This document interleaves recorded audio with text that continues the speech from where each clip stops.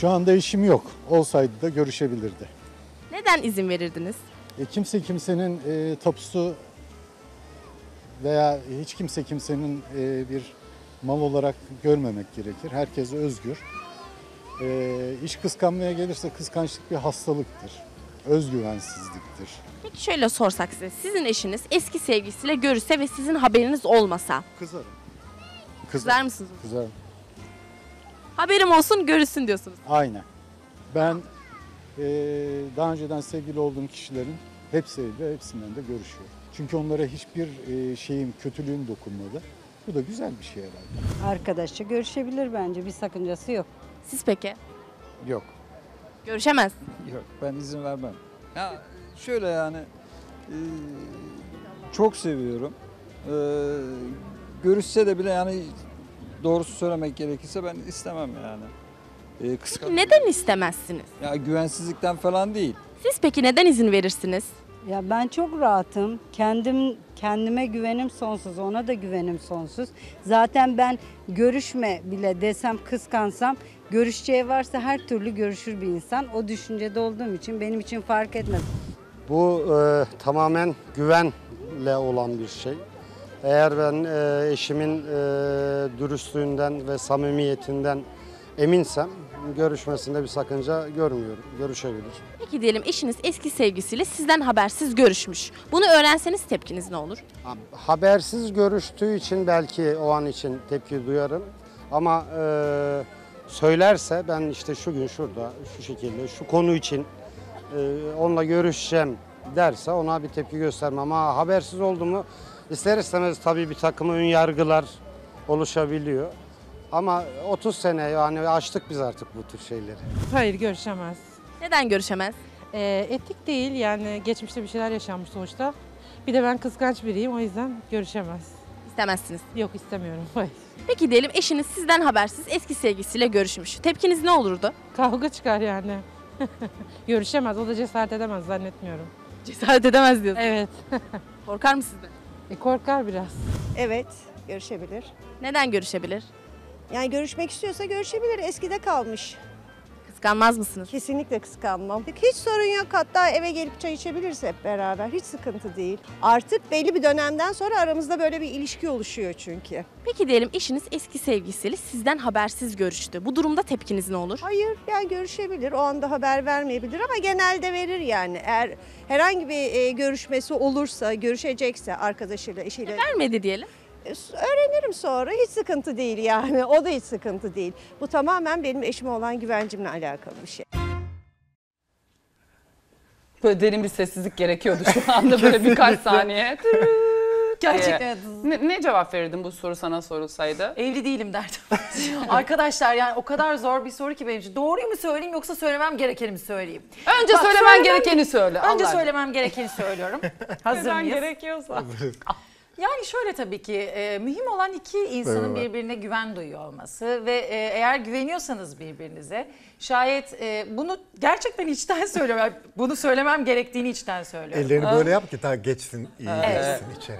Mutlaka ve mutlaka birbirinize olan karşılıklı güveniniz e, söz konusu olmaz. Zaten güvenmiyorsanız yani onunla görüşmüş, bununla görüşmüş, kimle isterse gider görüşür. Sizin gözünüz görmüş ya da görmemiş. Sonsuz bir önce özgüven, sonra karşınızdakine güven. Böyle devam Bana bu etmeli sahtelik iş. yetti şu anda. Bana sahtelik yetti. Hani bir yerde Şimdi istiyor musunuz gerçeği? Ne işin var be? ne işin var senin eski sevgilinle? Sen sen hayırdır? Hayır. Haberim olmasa böyle. Haberim olsa ne görüşüyorsun? Ne görüşeceksin? Ne Şimdi mesela ne yapacaksın? Ne yaptınız? Şimdi ne yaptın? Ay, Gittin konuş. Ne konuştunuz Ne kadar abi? kaldın yanında? Ha ne kadar? Yan yana mı Şimdi bunun Sevcan'ın kendine olan güven veya güvensizliğiyle ne alakası? Ne alakası var? Ben Yalnız kendime bak, güveniyorum. inanılmaz ben bu arada bunun üzerine çok çalışıyorum. Dişil ve eril, eril tarafımızla ilgili inanılmaz dişil ba- başlayıp bak kendimi sürekli ekranda böyle de görüyorum. Bak sürekli böyle. Hayırdır bir şey varsa Tabii tabii. halledeceğim. Bak Çok sürekli böyleyim yani. Çok iyi. Hayırdır şeklinde. Ama şöyle başlayıp sonra da direkt Hasan abi. Dünden beri ben Hasan abiyim bu arada. Onu toparlayacağız. Şimdi Sona, birisi sona de doğru demiş çıkıyor ki, değil mi erkeklik? E, di- direkt. Çok iyi anlattın. Yok onu alamıyorum geri. Şimdi onun üzerine çalışmalar yapıyorum. Bu, burada şöyle bir soru da gelmiş sosyal medyadan. Eşim bana maskülen biri olduğumu ve benden soğuduğunu söylüyor. Ha, tabii, evet. Ee, ne yapmam Evli lazım? olsam kocam derdim. Yani ne yapmam lazım diye e, sormuşlar. Şimdi bazı aileler farkında olmadan kız çocuklarına erkeksiliği fazla yüklüyor. Ama bu farkında olmadan yapılır. Hiçbir kimsenin bir günahı. Evet. Nasıl? E, tabii. Kimsenin bir günahı günahı yok. Yok, Aynen suçlayamam yok. şimdi dönüp dolaşıp. Yok yok o duygular geçiyor bir şekilde. Yani belki babayla kurduğu ilişki, anneyle kurduğu ilişki. Ee, çok ilginç. Bazı erkekler bu maskülenlikten hoşlanıyor tabii. Evet. Yani bazıları da şöyle. Evet. belli bir süre sonra rahatsız olmaya başlıyor.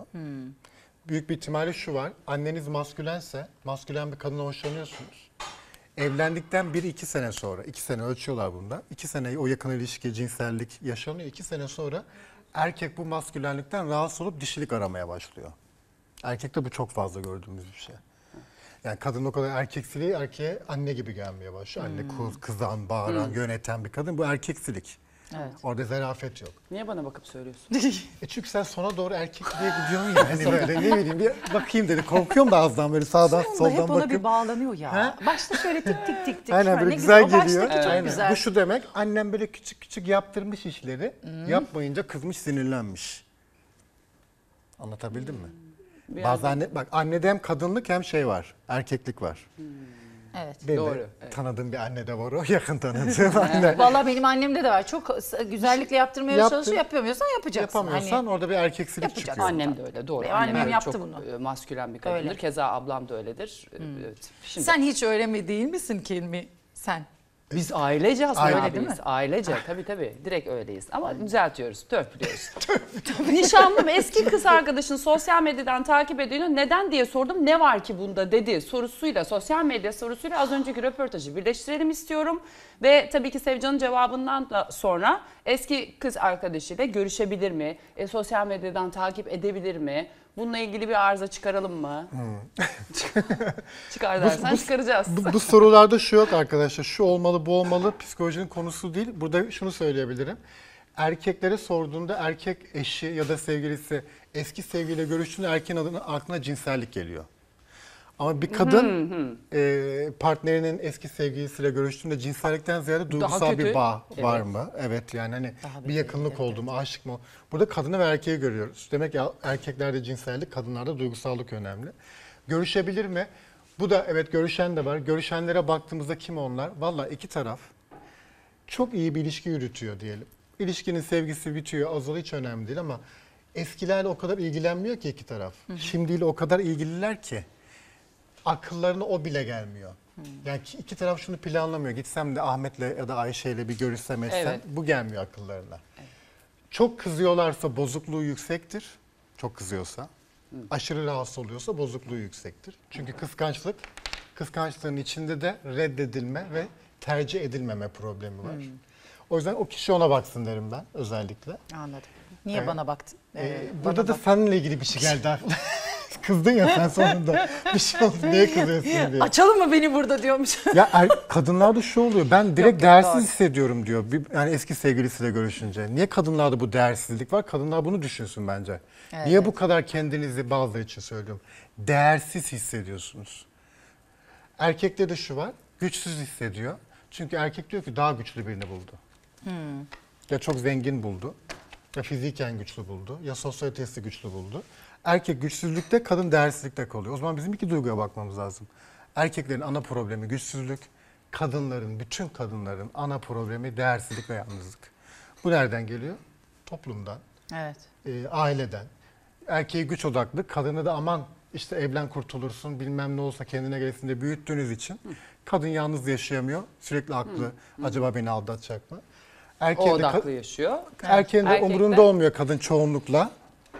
Vallahi Ben bilmiyorum. Yani gücümü nerede dengeler doğru gösterebilirim? söylüyorsun. Nasıl bir Şimdi kadınsın sen mesela ilişkilerinde diye sorsam böyle çat diye. Ee, Nasıl bir sevcan oluyorsun? Çok yani, ilerlettim kendimi diye. Geliştirdin mi? Ne güzel. Gerçekten öyle. Çok ilkel başlayıp çok ilkel çok başlayıp. ilkel derken çok kıskanç, çok bıdı bıdıcı falan gibi mi? Tam tersi. Yani onu kendime isteyip kapatıp artık iki kişi olacağız. Artık her şey iki kişi devam Şu, edecek ha. falan diye. Hani böyle bir e, dışarıya kapalı Kapama. bir ilişki gibi. E hiç magazinde çünkü görmüyoruz Aynen seni. öyle. Hiç bilmiyoruz. E, bu bir Aynen. seçim ama bu arada. Evet, yine de bu olur benim. yine e, illa bir magazin ama hiç yoksunuz siz mesela. Kesinlikle. Gerçekten de öyle yaşıyorsunuz demek ki bir çatı altında. Peki. Ee, yani mesela e- evliliğim zamanından başlayıp bugüne kadar olan tüm ilişkilerime baktığımda ben gerçekten gelişen bir kadınım ve kendimle bu anlamda bak burada hiç mütevazı olmayacağım gurur duyuyorum. Ah ne güzel. Sonunda e, kendimi mutlu ed- bir şey öğrendim.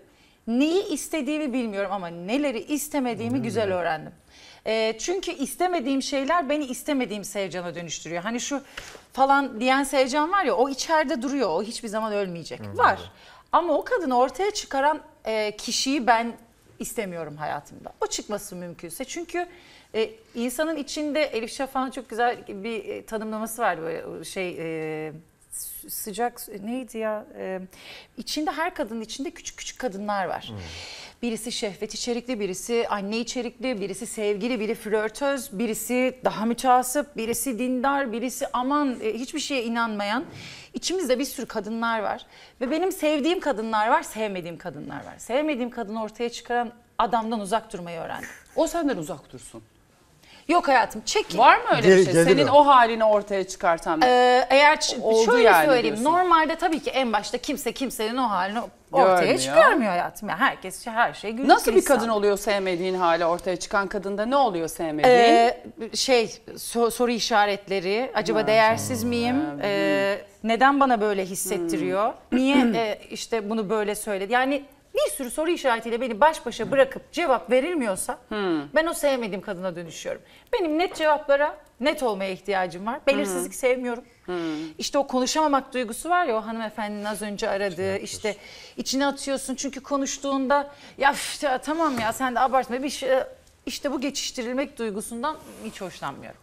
Daha fazla video izlemek için kanalımıza abone olabilir. İlk izleyen olmak isterseniz bildirimleri açabilirsiniz.